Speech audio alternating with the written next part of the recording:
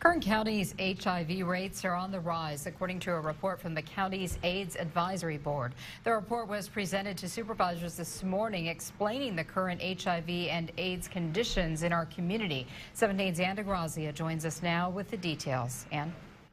Tammy, this report showed how HIV incident rates from 2010 to 2014 increasing from previous years and AIDS incident rates decreasing. Local nonprofits in the Kern County Department of Public Health are working to help, help combat the problem with education.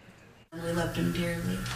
Mm -hmm. Audrey Chavez and Philip Castro look at pictures of people who lost the fight to HIV AIDS at Ricky's Retreat in Bakersfield. Someone who knows someone who's HIV positive or who has died of AIDS, and it's affected our whole entire community. Castro lost two uncles to AIDS, so now he has a mission. Is to educate everyone I can and to help everyone because I need to make sure that families don't have to go through what my family's been through and to make sure that I'm doing something in my uncle's honor. A grassroots effort by Castro, despite the increasing HIV cases in Kern County. What we've been seeing over the last several years is an increase in new HIV cases.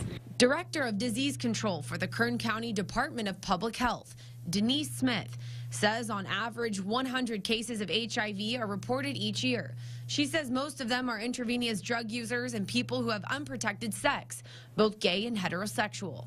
And we're seeing increases in all of the age groups, but the one that is most alarming is the age group of the 14 to 19 year olds. Smith says lack of funding for education is just a small part of the problem. Teenagers don't really think AIDS still exists, and I'm here to tell you it does. It does still exist, and you can be at risk President of Bakersfield's AIDS Project, Audrey Chavez, agrees education is what will make a change.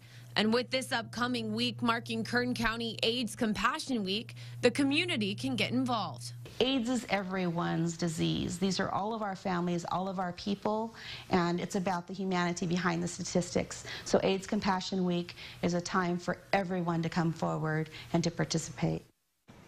We have the full HIV AIDS report on our website, kerngoldenempire.com, which includes why more women are getting HIV. You'll also find details on the Kern County AIDS Compassion Week. In studio, Ann DeGrazia, 17 News.